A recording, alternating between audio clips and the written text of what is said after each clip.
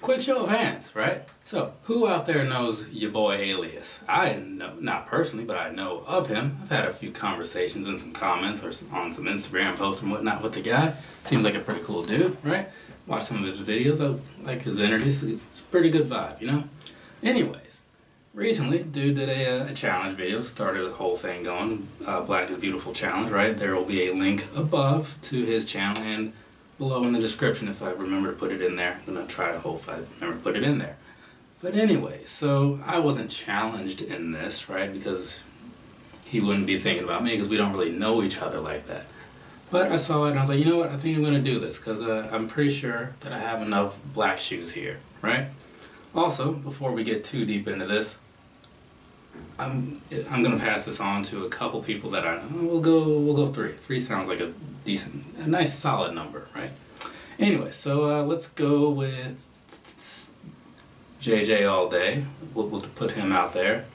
We'll go with Bobby's Sneaker World because I'm, I feel like he's got a collection pull that off.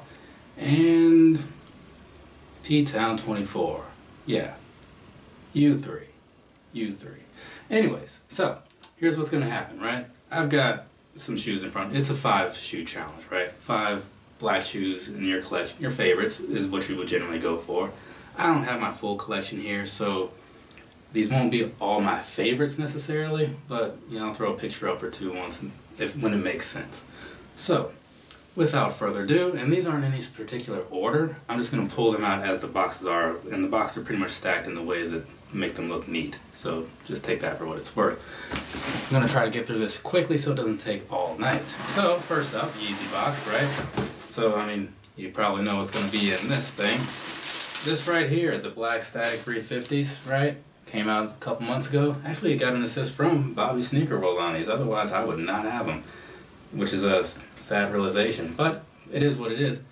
These right here, not like one of my super favorite shoes or anything like that, but I can't deny that they're pretty solid quality and have a good look to them, especially with that 3M and the laces and whatnot. So this one, definitely going in the lineup. so now we close this box up, put that over there, and we move on to, we're gonna move on to this one. This one is, uh, in a sense, it's kind of like a special-ish in a way to me. The uh, 3MC Beavis and Buttheads, right? These, uh, this was from my actual first review that I ever put up, which is, again, probably terrible. But anyways, I, you, know, gotta be honest, right? But yeah, these, I really wanted these when they came out because they had a good look to them as far as just like a nice casual shoe, and it's Beavis and Butthead, right? I watched them for years, for years. I still watch them, actually. So this one, definitely going in like my my favorite black shoes that I have. Again, this is right now going off of the however many pairs of shoes I have here. If I had, you know, when I get all my stuff back in like a month or two, maybe I'll revisit some things, but probably not. I'll probably just, you know, accept the fact that I have them. So yeah, so those Beavis and Buttheads, they're in the lineup, or in the list. These, so what is, what is that? It's kind of dirty on the side here. I need to break out one of those Reshoevn8r wipes. So, right here, right? This is an Iniki runner. Yeah, before they changed it. No, it's not. It's a it's a 5923. I thought it was early enough to be an Iniki. It's not though, but still. This shoe in general is one of my favorite models. It's it's not built for performance or anything like that, but if you need some all-day comfort while you're just kind of casually being out, you know what I'm saying? I, I took a pair of these to the Newports, as some call them, because they're green and white to WrestleMania weekend for New Orleans. What year was that? Nine or 18? 2018? Yeah, perfect choice because I walked a lot that weekend. But yeah, these they got a good look to them, super comfortable, super cheap too. These retail is like 120, I want to say. Do they put that on there? They don't. Yeah, I want to say retail is 120. I walked away with this pair for like $34 from a Footaction because you know they were marked down super low, and then I had a discount to use on top of it. And the lady, she when I walked in, she knew. She's like, "Hey, we got those. Uh, we got a pair of it, 5923s in black. Your size, only one left." I'm like, "Get them." right? It's one of those things. It's like, you know, you know, I'm gonna leave with these. You, you got me. You won.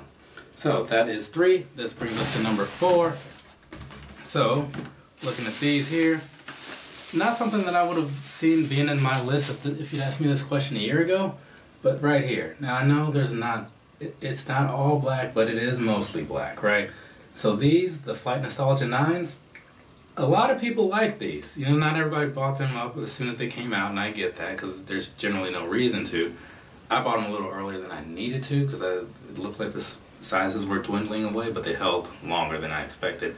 Regardless, I got these I really like the multicolored look going on and I'm going to pull out the other pair real quick just so you can see what I'm talking about. Right there, right here, see how it is? It's kind of, kind of switched up on either side. The stitching and all that is all backwards from one to the other. Really nice shoe in my opinion.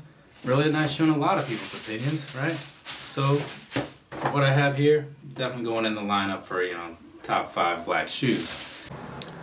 Full collection, you would have just seen a pair of 7210s. No question about it. It is what it is, though. I also have a pair of, uh, normally, like, you'd probably expect to see me throw a pair of, like, Vapor Maxes or something in there, some Ultra Boosts, all that. It just so happens that I don't have any black Ultra Boosts or Vapor Maxes here. I was to pull out one pair, but that pair I had sent to my mom's house to be a pair that I wear there. And the pair that I have here is mostly gray with, like, some kind of iridescent color. It's uh, part of the Throwback Future Pack link up top. And I, I don't know what it is about that shoe, but people really wanted to see information about it because it got a lot more views than I expected. Alright, now we're on to the last shoe, which if you know me, you probably have a guess of what's next, right? But the thing is, I couldn't, the shoe that this would have totally been, I don't have it here. I wish I did. I mean, even if I did, I probably wouldn't wear it. But I wish I did have it here. So, let's pull these out. I pulled out two because I'm honestly not sure which one I like more. So, it's a Jordan 12, right? Because I like those. This one here, the CNYs, or this one here, the Winterized. A little bit of a rhyme in there. But, uh, yeah, so I'm not really sure which pair gets the final nod because they're both pretty awesome in their own way. Even though this one is super plain, it's just something about this, these materials and that shininess to it. Like, they're just really cool looking, you know what I'm saying? And these over here, I like the whole cutaway with like that you can do and you know see like the other fabric under there. So that's pretty awesome. But yeah, I'm just not sure which pair I like more, you know, between these two. But again, this is these two aside, if I had everything here, that guy right there, not CM Punk, the picture up there, the Master 12s, that is what I would pick because of, I mean, because 12s are my favorite, right? And those were the first 12s that I ever got. So naturally, I'd have to stick with them. But unfortunately, that's just not an option. Anyways, so that concludes the list. Actually, you know what? It doesn't because there is one slight honorable mention that doesn't really fit into any of the categories as far as like, you know, being shoes or whatever. But they're black and they're coming out. These right here, the Cloudfoams, right, by Adidas, like if you ever need some slides or something, this is the route to go. Like these things are so freaking comfortable. So if you're just stepping out to take out the trash, or you're gonna be out there like doing the whole barbecue thing, or you you just need something to walk around the house in, these things are insanely comfortable. And they're often on sale because I don't think anybody really realizes how good they are. I'm not trying to oversell them, but trust me, for uh, what's the I think the retail is like is it 30 something, but you can often find them for like under 20. I got my I got my family I got my family pairs like a couple months ago because they were like 50% off, like straight from Adidas. But anyway, so yeah, so that's gonna be it for the video. Um, go ahead again. JJ Allday, Bobby Sneaker World, P Town 24. I'm looking at you, right? Well, not really. I'm looking at a camera, but you know what I mean. You guys are next. Hopefully, just go ahead, pull out what you got, and. Uh, let me know how that works out for you. I mean, well, I'll see it because I'm subscribed to you. Got the whole notification thing going on. I actually was just talking about that stuff. If you saw that video earlier, hopefully it's not too late to go check it out and like reap the benefits of it. But eh, whatever. We'll see if it is, if it isn't, or if it isn't. So that's it for me. Again, thanks for watching this video. I will make another video later just for you. That's a that's a promise, actually. It, it truly is. All right, later, people.